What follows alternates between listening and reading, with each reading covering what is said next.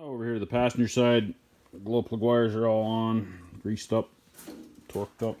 A little bit of dielectric still sticking out of there. First I brushed them up so they're nice clean copper sticking out. And injectors are all plugged in. Get this wire here left which goes to the fuel filter um, water sensor. Uh, I'm told that if it's, or I think that if it's unhooked, it will read you got water in the fuel. So if it does, then I'll just take the plug off the fuel filter, cut the wires, wire them together.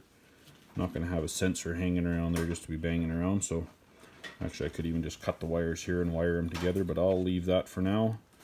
And uh, we'll figure that out later. Up here, this one here is taped off. Went to the EGR controller. Uh, this here was the NOx sensor uh, that was right after the turbo, and this here was the EGT probe that was on the top of the up pipe coming into the EGR. Um, I'm not going to do anything with those just yet. We'll see what happens. I want to get something hooked up, so I may drill something like this, knock a hole in there, put an EGT probe in it, see if I can wire it into this one, and try to use that stock EGT probe. We'll see. So those are going to just lay there for right now. Um, wires held on with this bolt here in the middle of the head, straight above the second injector from the back. Then it's got another one down here, a little small one. Then it's got a Christmas tree over here by the uh, third injector, second from the front, whichever you want to call it. Then it ties in here. Over here, We've got a red wire goes to the throttle plate controller. Uh, the green plug goes to the grid heater control. And this one here went to the, uh, the little relief valve or whatever it was called there that was running the uh, return fuel for the for the exhaust or ninth injector I guess.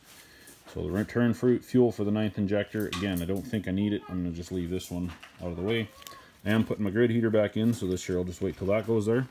So this side here is buttoned up. Got my glow plug controller still here. Um, gonna put next thing up. Believe I'm up to that. I don't see anything else here that I need. So next thing I'm up to is the alternator bracket. I'm gonna get that in there, and then this mounts onto the alternator bracket. So that and this all mounts on the alternator bracket. So that's up next.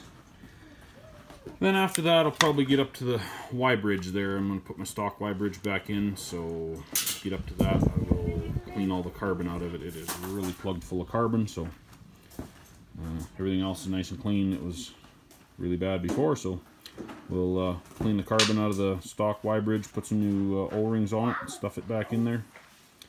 And someday when I can afford it, I'll buy a different Y bridge, I guess and maybe a extra turbo. Back on. Uh, three bolts torqued to 34 foot-pounds, what that says. Um, glow plug controller module right there, torqued up to.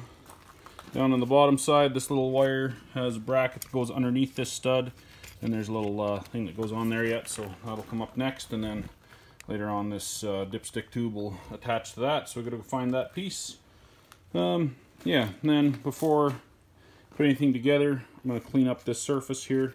Of course, my gloves are all stretchy because I went out and helped my daughter with the lawnmower. But anyway, that, pull these bolts out, clean the surfaces underneath that. So we got nice clean surfaces as mentioned before. Um, this bracket here, this bracket here was the uh, fuel line previously. So the uh, the return coming from the filter, one of them mounted up here, the other one was down here. So we'll pull this bolt right out. This bracket will be completely gone. Now we'll have a couple extra bolts. We'll take this bolt out also. Um, no use leaving it there for no reason. Oh, and the one way down there, I forgot to take it out. Let's see if we can... Right down in there, that bolt there is useless, so no longer needed. So we'll get that out of there. So, brought blocker plate on the Y bridge. Gonna use my stock Y bridge as mentioned before. Still gotta keep that grid heater for at least one year to make sure my truck ain't gonna smoke like crazy.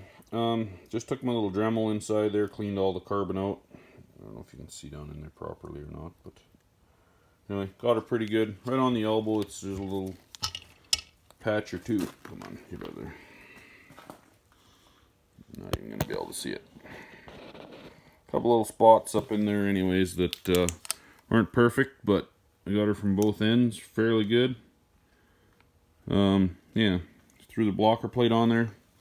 New O-rings in there. Before I put this in, I uh, went in here and I put a hose clamp on here, moved this thing up, put a hose clamp on here. It's not quite touching there, so it should be all right. Um, just wanted some extra security there because didn't want fuel pressure to leak in by. It's not going to blow that off, I know that, but I just it didn't want some, you know, have a leak in here. All it would ever be was slow leak, but they're super annoying and it's not exactly the easiest thing to get at on this truck, so figured I'd give myself a little bit of peace of mind there to hopefully stop any potential problems there.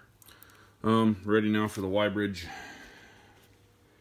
And uh, put the Y-bridge in.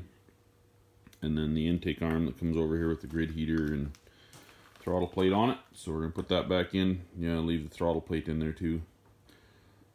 I believe I can... Uh, I can buy an electronic unit to plug into my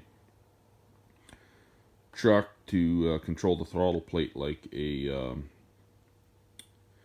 like an emergency shutdown system. So being that I work in the oil patch, that'll be the plan. So throttle plates right over there on the intake. Um, we'll try and run that. See if we can get that unit to use that as a emergency shutdown and that way at least I'm legal when I go to drive the thing to work. Working with the fireman helper here. We'll try to make a video of this. Putting the Y-bridge in. So putting the nut on. The one side nut, I'll show you here. Down there, you can still see a little piece of paper over top of it. That nut is started and sort of hand tightened. This side here I left on. So you can leave one of those nuts on. You can only leave one on. You can't even leave the bolt on on this side. You can't. That's what I thought, but the bolts aren't long enough to go over the big lip that they put in the bottom. So, in order to get that bolt in there, tip that over, please, buds. What I did is I took this little piece of paper towel. Oh, here, you can you hold that one too? Never mind. I'll put it on the bolt head right away. Oh, this video is not going to be good.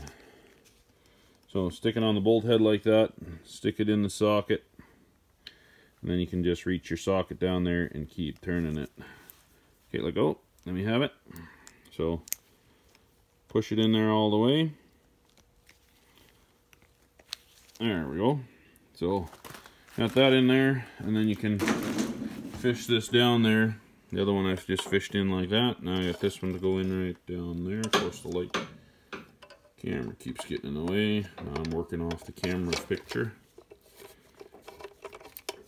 So you can just start that in there like such. So it does just pretty much straight laying on the top of the Y bridge. So at least they made a decent angle there that is attainable. So that started.